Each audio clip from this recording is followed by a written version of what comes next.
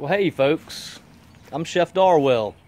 Not only do I preach using real food to produce real food, but also I also preach knowing how to grow your own, folks.